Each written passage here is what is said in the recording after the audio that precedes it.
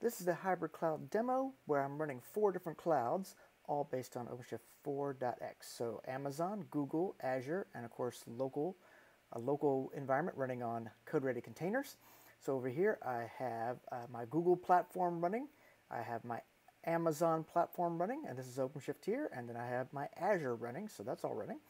And you can kind of see though that even though those have very different look and feels from their environments, they, they have the same experience when it comes to using OpenShift on those. So OpenShift running, in this case, on Amazon. You can kind of see, tell by looking at my URL.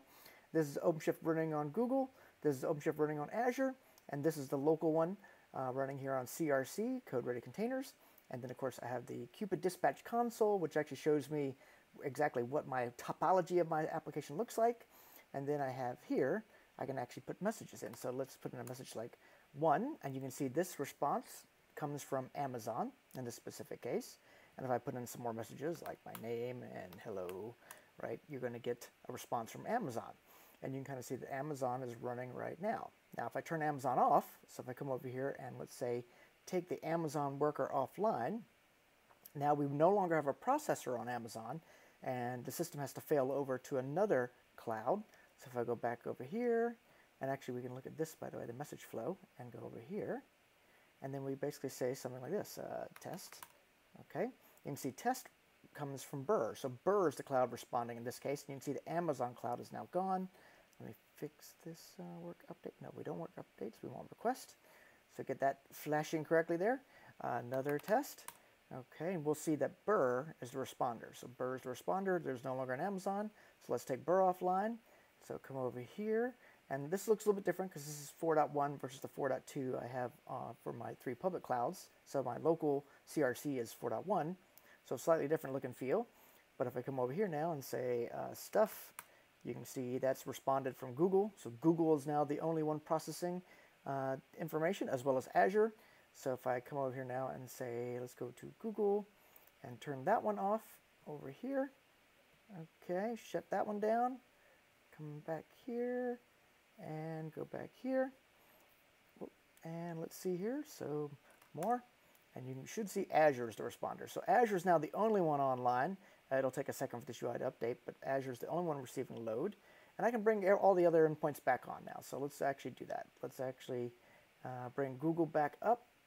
We'll bring Burr back up. And we'll bring Amazon back up. And let's do that. Bring them back online. You should see them in the topology view here. You'll see their little yellow icons indicating they have a processor, basically at the worker node, which will respond to work request.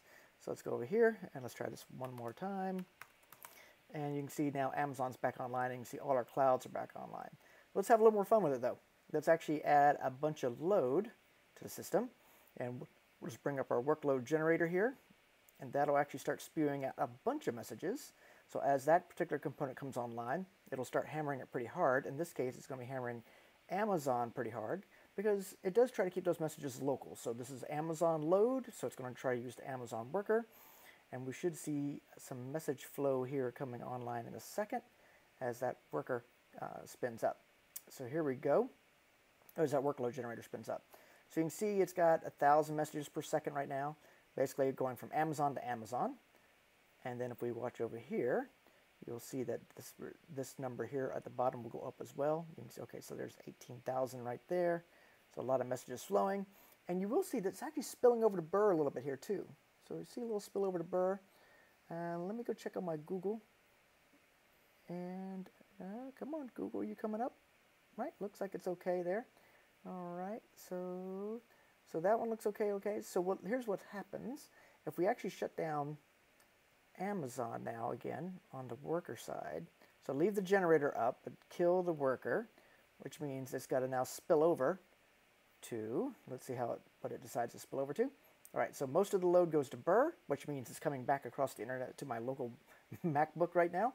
And some of it is spilling over to Google. You can kind of see nothing really going out to Azure right now, and of course nothing going to Amazon because Amazon's offline.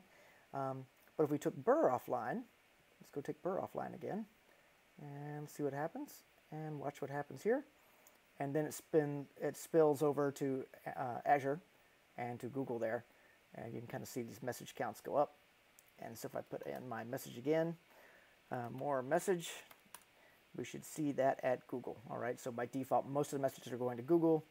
I don't know if I can put enough in here to basically see it spill over to Azure in some cases, but I might. Uh, yep, looks like it's all processing on Google, has the most affinity there. All right, so that's the hybrid cloud demonstration.